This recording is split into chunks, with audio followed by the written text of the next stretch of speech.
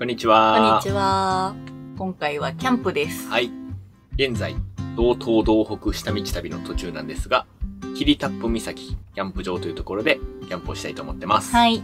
霧タップ岬というのは浜中町というところにあります。まあ、釧路と根室の間ぐらいかな。そうやな。うん。で、今日はその前に、うん。今現在、厚岸というところにおります。うん。まあ、明石というと、あの、北海道の中でも牡蠣がすごい有名なところです。なので今回はまあ、キャンプ場に行く前にちょっと厚岸でな、食材を調達して向かいたいと思ってます。はい。まずやってきたのは A うろこというところです漁協がやってる海鮮の直売店ですかき祭りすごい。いろんなブランド牡蠣かな弁天牡蠣かきえもん丸えもん大きさも違う。えーすごい。牡蠣以外もいっぱい売ってるわな。んか。なんかいろいろ買っていこうか。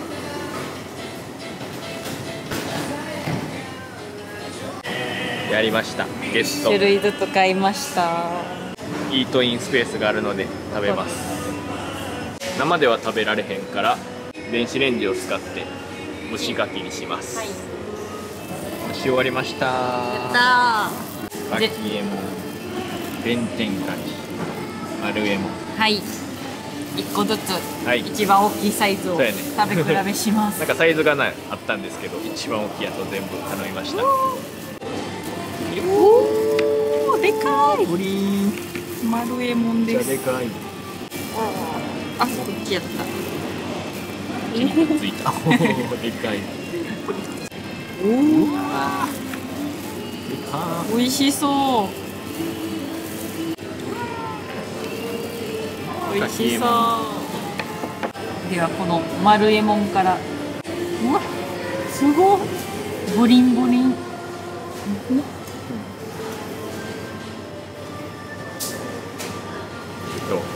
美味しそうめっちゃ美味しい。クリーミーそううん。なんかちょっと甘い。甘みがある。美味しい。どれが美味しいか覚えとかな食べ比べるからちょっとずつ食べていこう。弁天これは弁天牡蠣一番美味しいとこ全部食べていくけど大丈夫。うんうん。うんうんうん。違う？うん、ちょっと違う。美味しい、これも。旨味がすごい。スープって感じ。なんか、いいとこ取りって書いてた、弁天かきは。あそうなんや丸えもんとかきえもんの。か、間ぐらいの味なんかも。うん。うわ、違うこれがなんか一番想像してるかきの味やったか。きえもんが？でもこれが一番食べやすい。丸えもんん。だから間やわ、ほんまに。美味しい。うん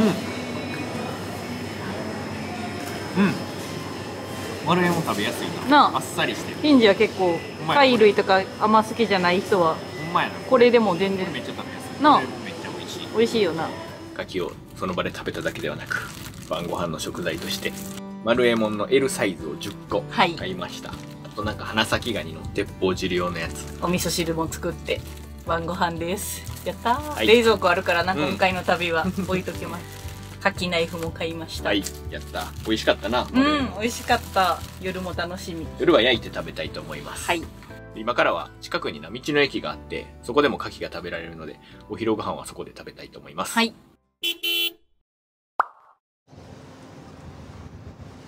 いい天気。あの右側は海なんですがあの橋のこっち側かな。厚岸湖。湖です。ここで牡蠣が取れるみたい。ここは海が近いからな。海水と淡水が混じり合う汽水湖らしくて。冬は凍るんかな？冬はなんか凍るって書いてたで。この厚岸の牡蠣はうん。厳しい環境で育つから美味しくなると書いてたな。そう。なんか干潮と満潮の差も激しくて2メートルとかになって時々その牡蠣もその水面の上に出てくるらしい。で冬は氷の下とかで育つからすごい厳しい環境で、まあ、それのおかげで美味しくなると。一年中生牡蠣食べれるらしい。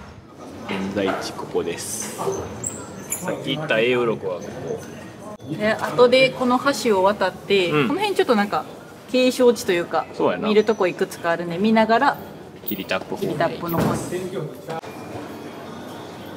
レストランエスカルここで食べました。またここで食べたいと思います、はい。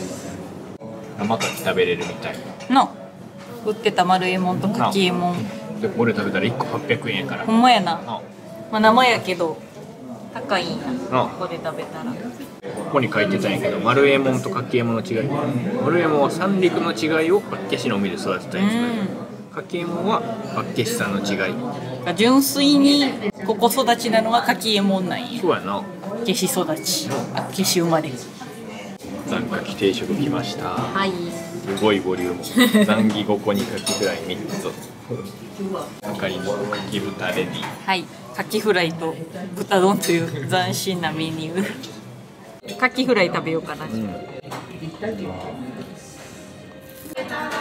うまい。それでは出発します。キャンプ場へ向かいます。いい天気やな。いい天気すごい。昨日はめっちゃ雨降ってたんやけどな。国タップ岬までは約40分です、うん。まあ、ただちょっと途中にななんか立ち寄りスポットみたいなのがあるみたいなので、まあ、そういうのに寄りながら行きたいと思います。はい厚岸からまあ海沿いを通ってな霧タップ岬まで行く感じです、ちょっと天気予報曇りやったからなあんまり景色期待してなかったんですけどこれは綺麗かもしれへん。うん。ほんまはなんか霧がすごい発生しやすい場所らしいんやけど。そうそうそう、まあ、今日はどうやろな。晴れてるかもしかしたらそっちの方は霧かかってんかもしれんけど。なんか霧タップ岬は野生のラッコが見ら見れるうん、スポットらしくてここに来るまでの道の駅で出会った視聴者さんにもなラッコ見れましたっていう人おったもんな、うん。しかもなんか肉眼で見れたって言ってたからうん。結構近い距離で見れるかな見れたらいいな。だ厚岸大橋おお綺麗。おお綺麗海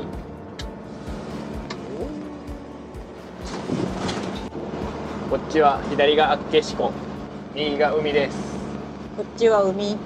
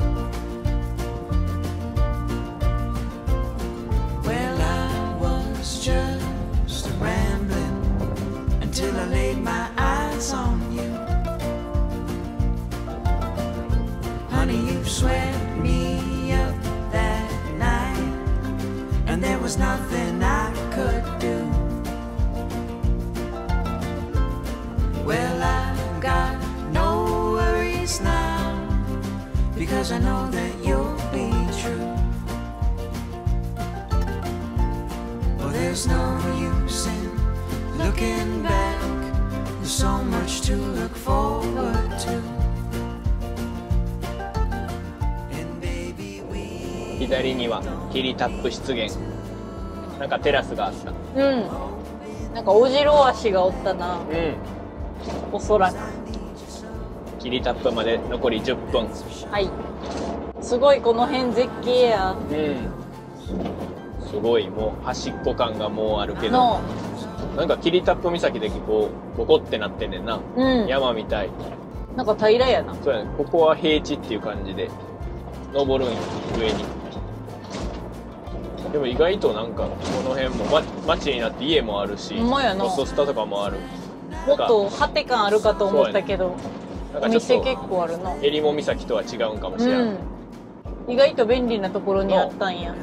セイコーマートもあるしここに。それは知らんかった。セイコーマーもあって便利や近いでだってもう。他スーパーもある。前スーパーあるやん。えー、知らんかった。の割と便利な場所うなんやな、んうん。おお登っていく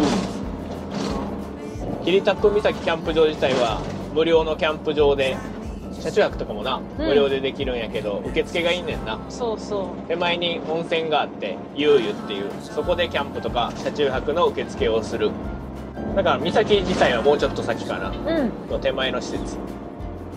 今んとこどうやろ？霧はそんな。霧はない。晴れてんで。ここまで出てなさそう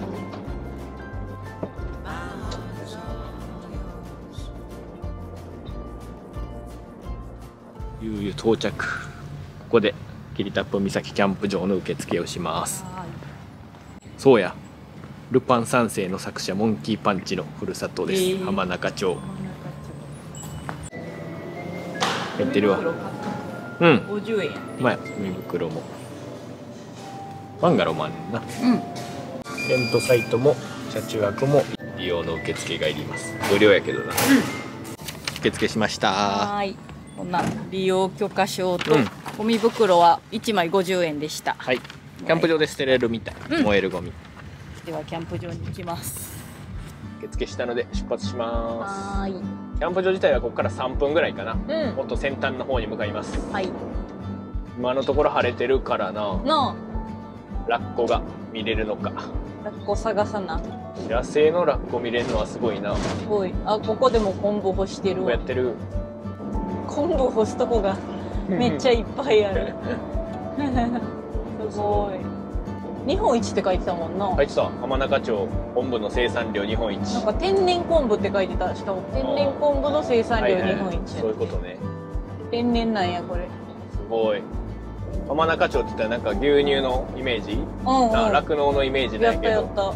昆布も有名やんな。すごいな。こお近づいてきた。の辺はうわすごい。なんかちょっと島離島感もあるうん。なやっぱ岬。すごい。おおおなんか灯台が見えた。おーあれかなあのバンガローそうやバンガロー並んでるとこ。おおあそこや。えすごいとかここ？今景色めっちゃ綺麗やそうでやな。すごい。絶景や。すごい。おおうわこれはすごい。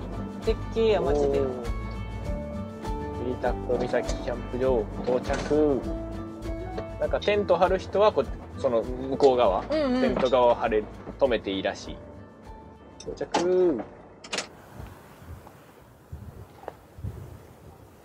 一応管理棟があります。ちょっと見に行ってみるか先、おおおおすごい。この辺がテントサイトや。もうフリーで。でバンガローバンガローも景色綺麗そう。綺麗そう。なんかこう岬に沿って。すごい。すごい場所。すごい場所。どこにあるか迷う。晴れてるからすごい景色が綺麗。綺麗。うわ綺麗。綺麗。霞んでるけどまあ全然晴れてるなこれは。綺麗や。霧タップやから霧を想定してたけど全然晴れてたわ。あっこどこにおるんやろ。見えるんかな。もっと海近づいた方がいいんか。そうやなとりあえずテントをどっかに設営するか。うん。トイレがそこか。いいでそこで一番あっちにもあるねうんうん。すごいな。絶景キャンプ場や。これ無料やからなここ。めっちゃすごい。たまたまあの視聴者さんにお会いして。キャンプ場に視聴者さんがいらっしゃってラッコはあっちの方にいると教えてもらいました。今日はなんか先端の方にいると歩いて10分ぐらい。うんあの灯台があるんですけどあの先ぐらいかな。ちょっと歩いて先にラッコを探しに行きたいと思います、この先やラッコ。がこの辺に。見に行ってみましょう。いるのか。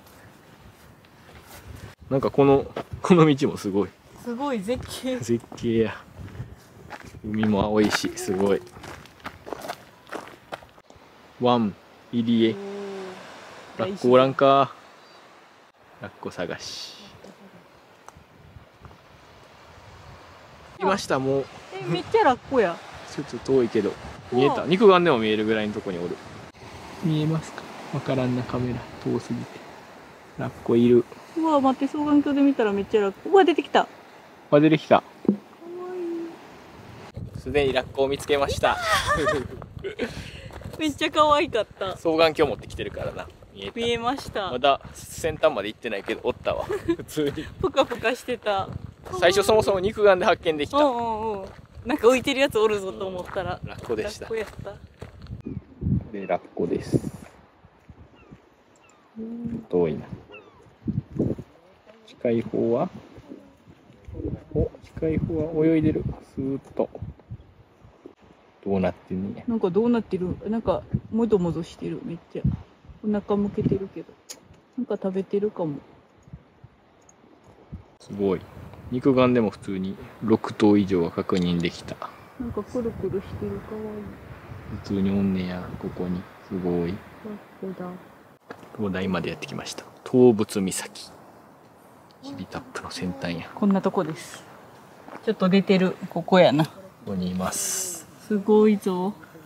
なんかまだ回れるんかな。うまいな回れそう。すごいな先端。あれ？まだあった。これがあるから終わりかと思いきや。あめっちゃ先あるやん。めっちゃ先あった。すおお。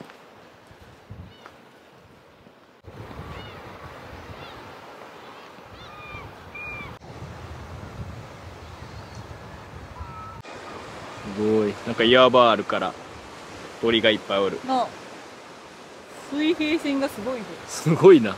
180度以上見える。うわー。あっここっちに泳いできた先端の方まで。泳いでる泳いでる。見える。見える見える。な泳いできました。近づいてきた。先端まで泳いできた。無事ラッコの生息を確認できました。たくさんおった。ああ。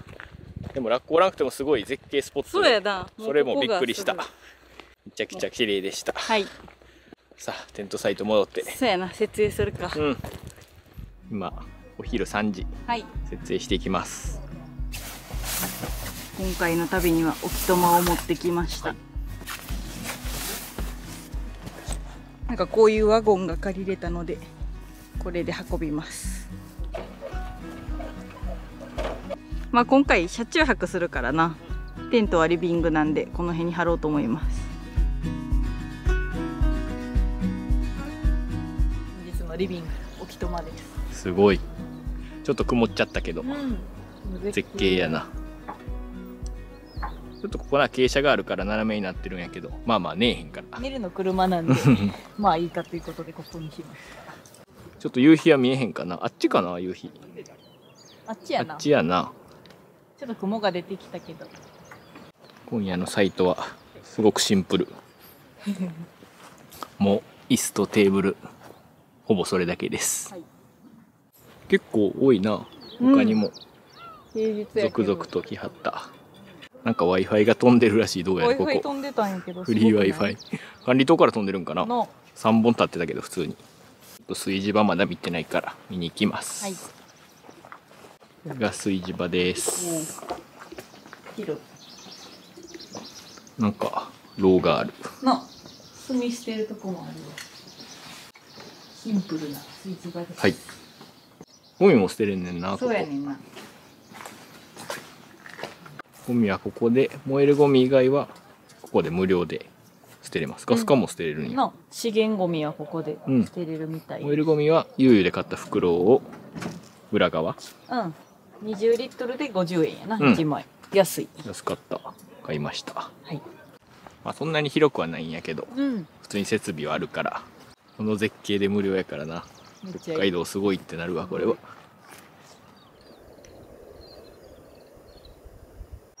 すごい絶景や。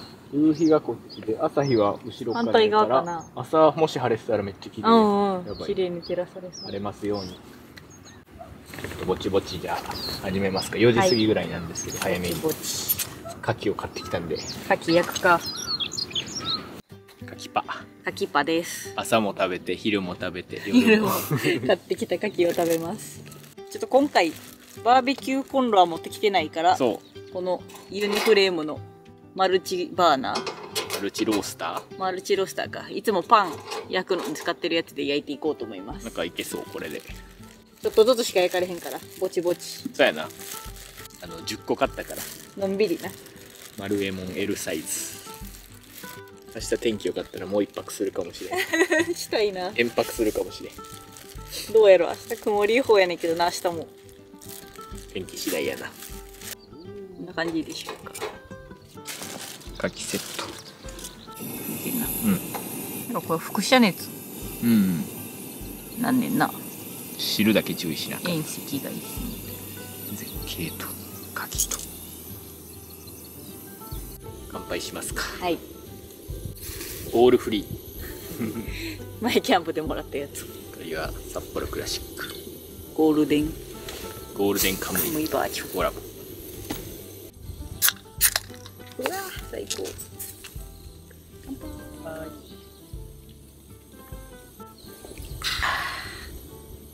うままあまあ。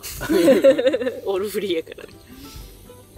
絶景景や。絶景やな太陽まだ全然上やったんや。もっと低いほんまや全然。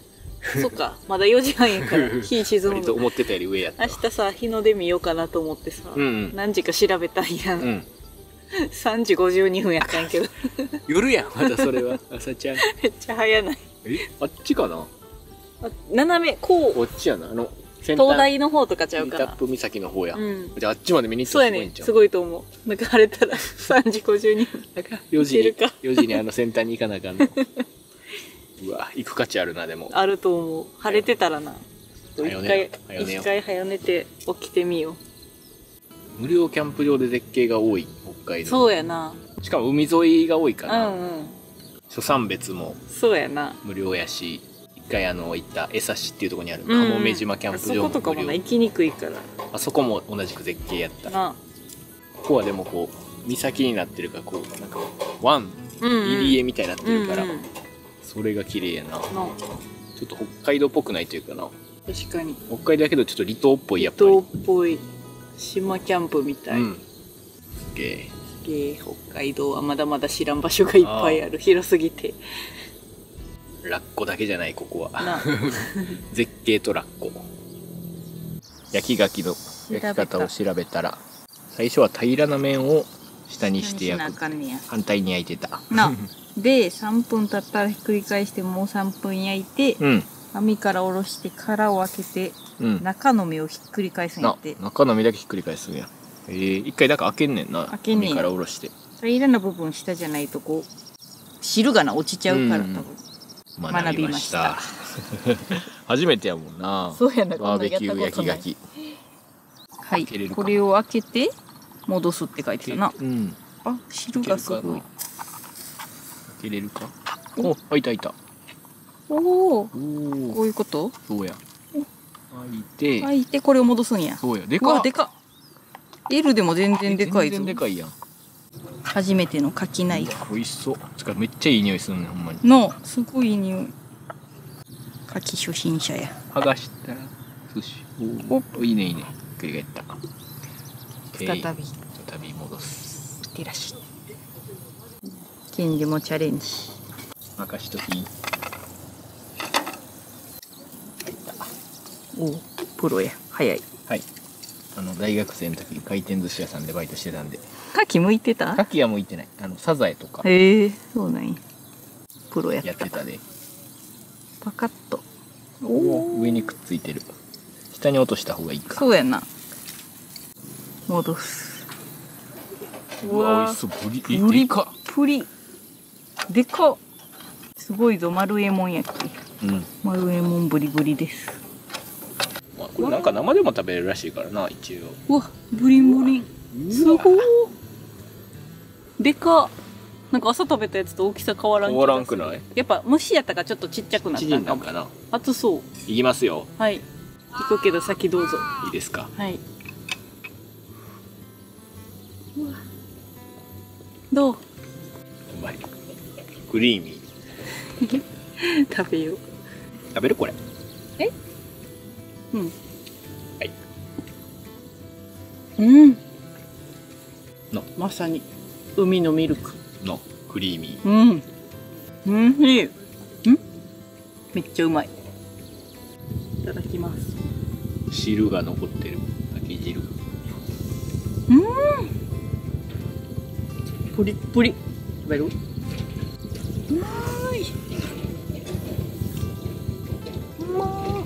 ちゃ美味しい。うん。やば、ペロリやん。10個全然食べれるなわ。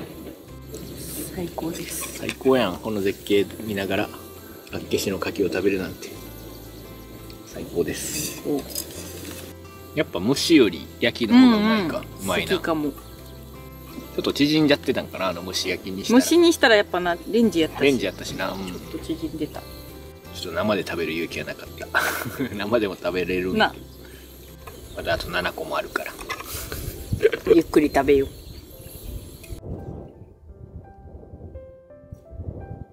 すごい美しい柿。プリンと出てきたうわ、プリン。かわいいなんか。こいつ一番綺麗な柿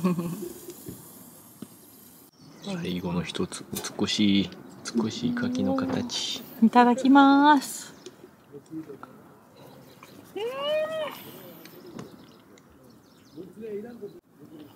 うまい。ポリッとしてそうこれは。形も綺麗やしな、もう味わいがすごい。すごい。10個あっという間に平らげました。美味しゅうございました。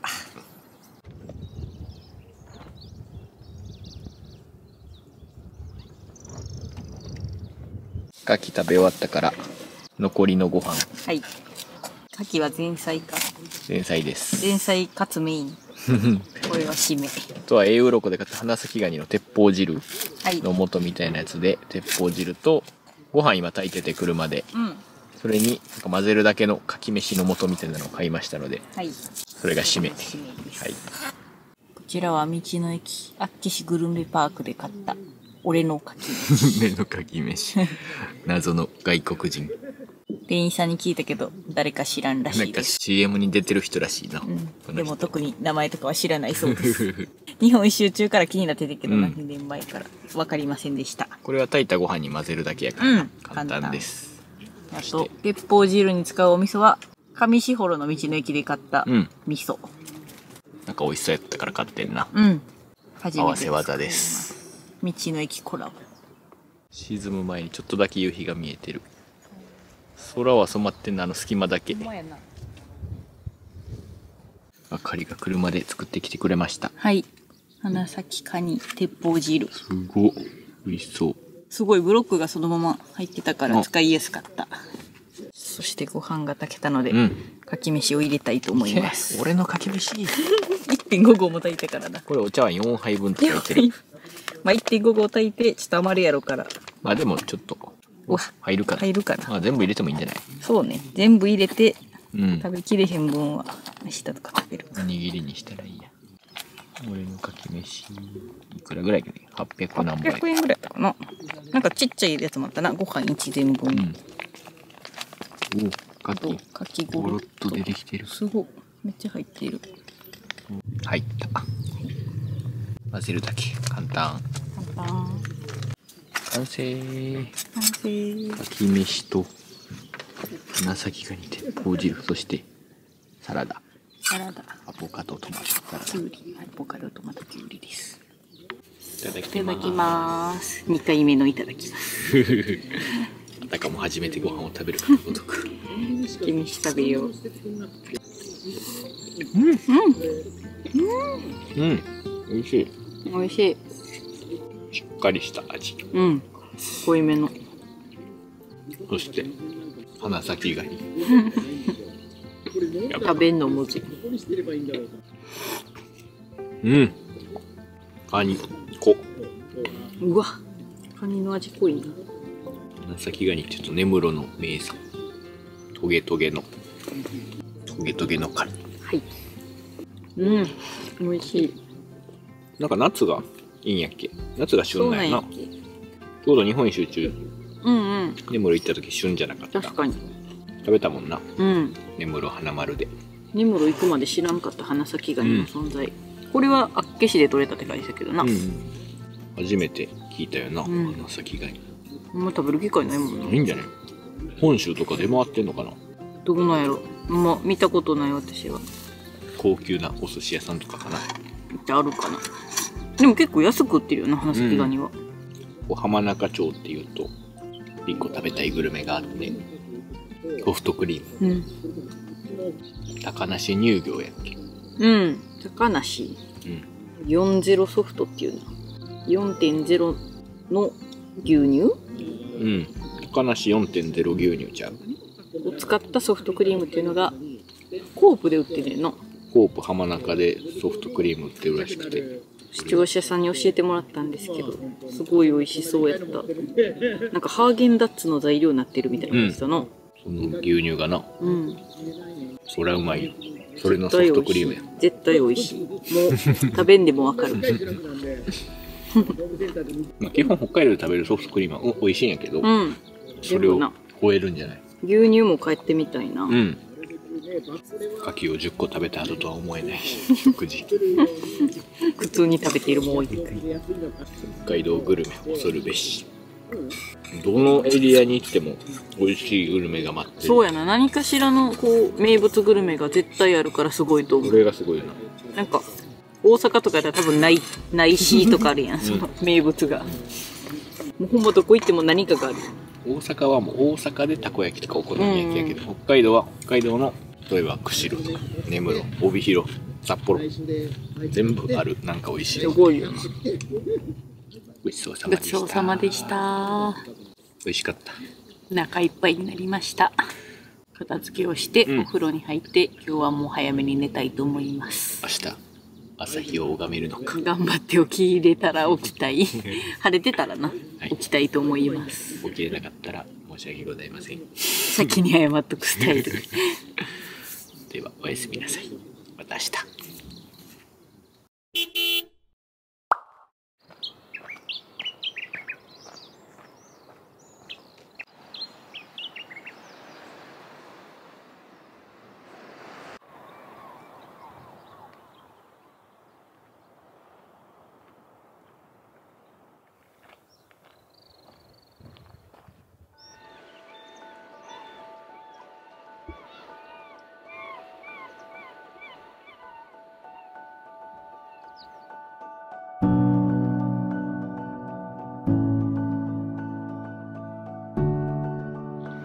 日の出は迎えてるけどまだ雲の向こう側。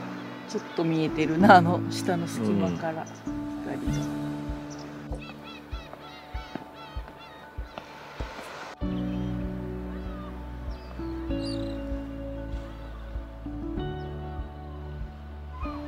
が、朝4時過ぎ。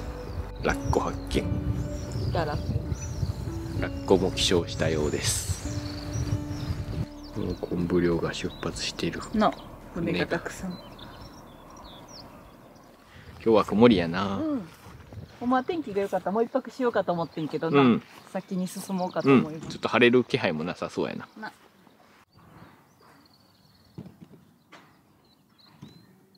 朝は無事目覚めてうん。朝日を見に行きました。朝3時20分にアラームかけてたから起きれてで見に行ってんけどまあその時間晴れててな、うん。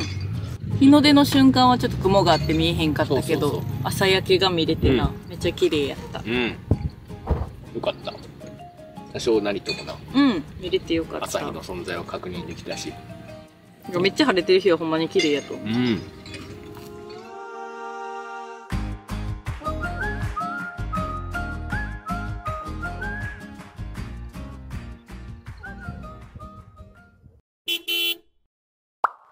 練習完了はーい。